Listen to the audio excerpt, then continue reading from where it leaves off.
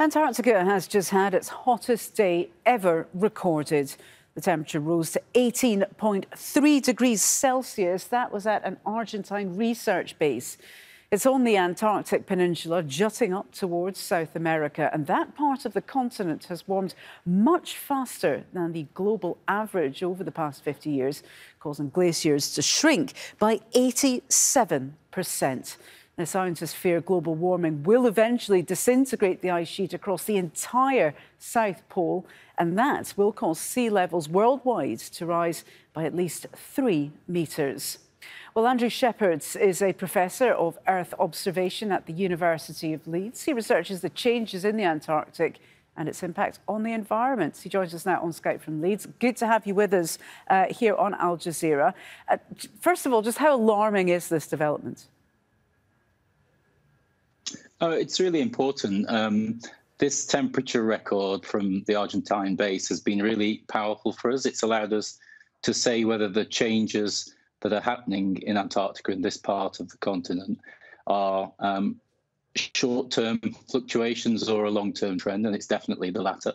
Um, but they also, very much like the Canadian fires at the moment, give us a glimpse into the future and how different parts of the world will be in just a few decades' time.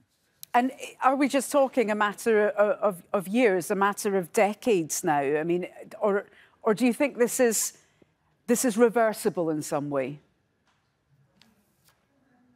So uh, we've learned a lot about how ice responds to changes in climate just because of this particular part of the planet. Um, at the northern tip of the Antarctic Peninsula, there are a series of ice shelves, and they're really floating extensions of glaciers into the sea. And they've broken away over the past two or three decades. Um, we didn't think that that was possible um, until it started to happen. And that's an irreversible process. They won't grow back again for a thousand years.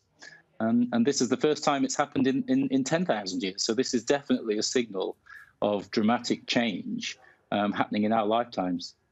Uh, just talk us through the significance of this particular region in the Antarctic. Why, why is this region such a focus of, of, of, research and development? Well, it's it's definitely the most easily accessible. So this this part of Antarctica is at a similar latitude to Iceland in the northern hemisphere, and that's why it gets warm in summer. Um, but just three or four decades ago, it was a cold place, um, and and it had lots of ice, and now that ice has has gone, and, and, and the, the ice is retreating farther south in Antarctica. But we've learned how really glaciers respond to ocean and atmospheric warming because of what's happened here. And we can use that information to uh, improve our predictions of what's going to happen farther south where there's a lot more ice.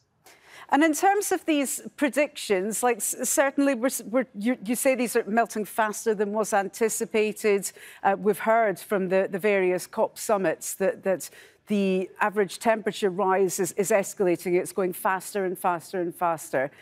Is this, in your opinion, is this running out of control or is there still time to try and rein in this process of climate change? So there's always time to to reduce the effects um, that that might happen in the future under a very hot planet. Um, we can do things uh, to reverse what's happening today um, in some instances, but it's it's not realistic to expect our planet to cool, even if we all reduce our emissions to net zero, as people hope will happen in in, in two or three decades' time. Um, that's not going to cool the planet again, and so we're already committed to some sea level rise. And that's where we also need governments and people to be prepared for what, what's going to be happening in coastal parts of many countries by the end of this century. People will experience flooding more frequently than they do today.